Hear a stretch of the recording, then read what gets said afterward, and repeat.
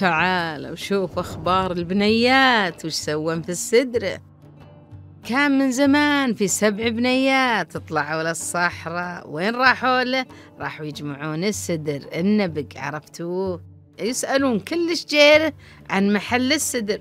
لين طاحت عينهم على السدرة رقت واحدة من البنات فوق السدرة تقطف السدر وترميه لصديقاته وكل واحدة تاخذ نصيبها وتحطه بكيسة.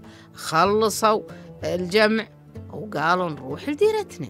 وبدت كل واحد تنتعد كم جمعت من السدر في الكيس. لين اكتشفت واحدة انكيسة ما فيها إلا خنافس. خافت لأنها ما تقدر ترجع لها لا بدون السدر.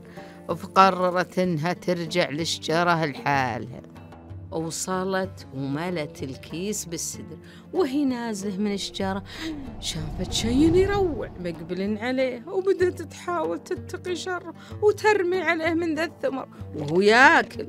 ثم أمرها تجمع له الحطب شب النار وجلسه جنبه.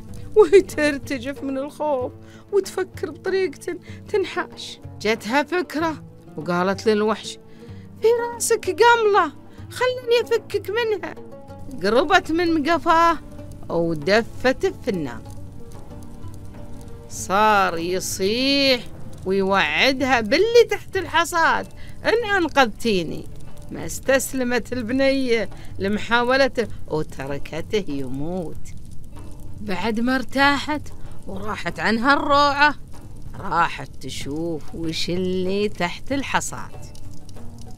ولقت تحتها الذهب والفضة واللولو وأطياب دخلت على أهلها ومعها هالخيرات وقصت عليهم كل اللي صار لها. وتغيرت أحوالهم وشروا القصر والبستان وعاشوا برغد ونعيم.